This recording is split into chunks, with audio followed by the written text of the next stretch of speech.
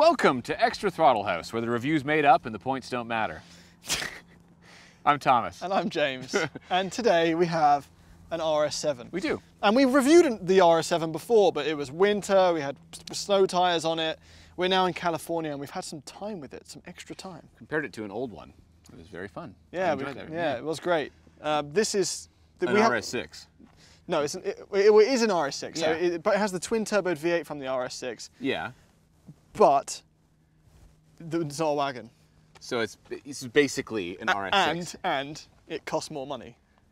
so you get less storage, and it costs more. Right, but it looks cooler, and, it- And and it, it's six, seven comes after six, so it's one more number. but its centre of gravity is probably lower.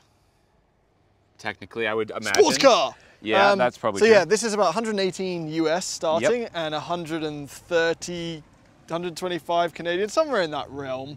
Um, it is here in beautiful glacier white, or as Thomas would say, glacier.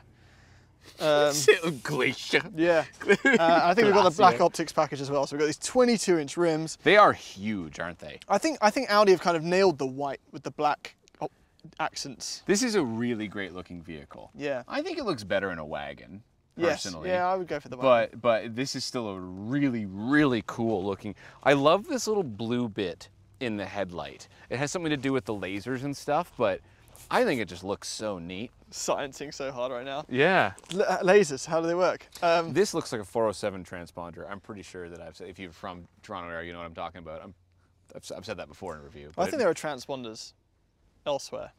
Anyway, uh, lovely looking car, go for a drive. quite expensive. Uh, one more thing though, sorry, Okay. while, while we're standing here, Yeah. this now has a full rival on the road that wasn't there when we first reviewed it. It does. For the same price, the Audi e-tron GT is now available. Oh, is it the same price as Same this? price. Ooh, that's interesting. I haven't driven it yet. So the, so the question is, is a twin turboed V8 with 591 horsepower enough to beat out a rapid EV? I don't know. We'll find out who drives. We rock paper scissors. I'm really good at this. I've I've won every rock paper scissors we've ever If you done. follow us on Instagram, we did a story with this, and Thomas beat me, and he got the nice room in our Airbnb. I have to get in the zone because I, I get inside your head and then I figure out what you're gonna do. You ready? We're gonna we should rock paper scissors every extra Throttle house from now on. Okay. All right. All right. So, No, so, it's, maybe not. so it's one, two, three, go. Yeah. Okay. yeah. Ready? Okay. One, two, three, go. Sorry, what was this? You The- lift- it's not are you- rock paper scissors karate chop. No, it's rock It's- it's, a little. It's an envelope. okay. Ready? Ready? One, two, three, go. So that's one down. That was easy. Why are you so good at this Do you want to do best two or three or? No, I'll get okay. Ooh, nice rumble. it's got a great sound. Okay, now we're in the canyon. So full dynamic drives continue. Um, buttons, dynamic mode and sport Transmission. ma- manual mode. I've decided. That's what I want to do.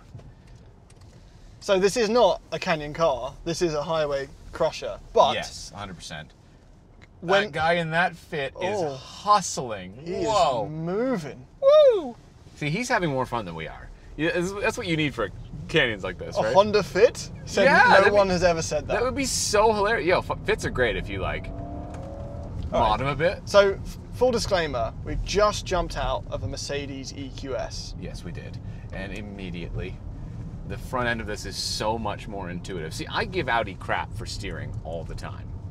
Um, but honestly, like, I can place this car. That's a nice sounding downshift. Good noise, too. I really like that. I like these cars. I think that it's so easy to put them next to a Mercedes or a BMW and then be like, cool, it's slower, Yep. it's it's it's you know not as composed in the corners, it doesn't lose the tail, but Well, this one does a little bit. Like you, like I will, if I remember to find the footage, I will overlay a, a shot of me doing a like 140 kilometer an hour slide in an RS6. right, but it's not that's not a playful slide. That's a, a No, that's a track driving Yeah. slide. Did you turn my heated seat? You son of a! I promise I didn't. I don't believe you for a nice segue. second. This has wonderful haptic buttons. Oh my god, my Uh, bum is so warm right now. Um, mo- moving on, the the Audi infotainment here and these screens have kind of aged really well, I think, so far. Yeah, they look good. Well, It, it all comes down to those black levels, right? Like it just looks like a part of the too much piano black in the But I car. still get I get on with the hapt- the, the the initial click. I don't know. There's a lot to get on with here. Yeah, A no, I really like that. And this, you're right. It's not a Canyon car, no question. But it, it's it's having no issues doing what I'm doing right now. And you know the ride is stiff, but it's not.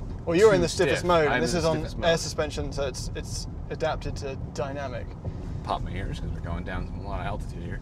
I think the biggest problem with these cars I have is the price. The RS cars have a way of being quite expensive. You know, 130,000 Canadian. It's a lot of money It's for a something lot of like. money. Okay, you can boast that it's an amazing highway cruiser. So is an A7.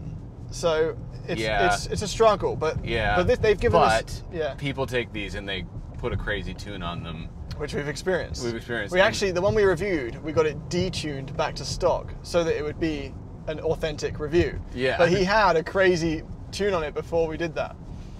So yeah, you can make these cars nuts. And You can thanks, make them Thanks to the all-wheel drive, they, just go. They become rockets. yeah. Is that a drone up in the sky? Are you increasing the production of Extra Throttle House? I would never. I'm disgusted. I would never. All right, the, the other question then, the e-tron. So we somehow we haven't got behind the wheel of the e-tron GT No, RS. RS it's very GT good. RS GT e-tron, RS GT. I've heard that it's better than the Taycan on which it's based. That is that is interesting. So I think it's as as good looking. I don't know if it's better looking, but it's I, I disagree with everything. I think that the uh, Taycan is better looking than the e-tron. ah, okay. Yeah. So so how much do you think you would miss the engine in this? Well, to be fair, right now, since this is mostly a downhill canyon kind of run I'm doing here, I haven't used the engine that much, so I wouldn't miss it at all. But like when you're really on it, I do like the sound of this car a lot. That said, some of these modern, like crazy high-tech German V8s are so synthetic in the way that they sound that I don't feel like I'm being robbed of that much when I have a really good, effective EV powertrain. Well, when on the next slightly uphill, give it a little downshift. Take us, and then this is a downhill. Okay. boom, boom.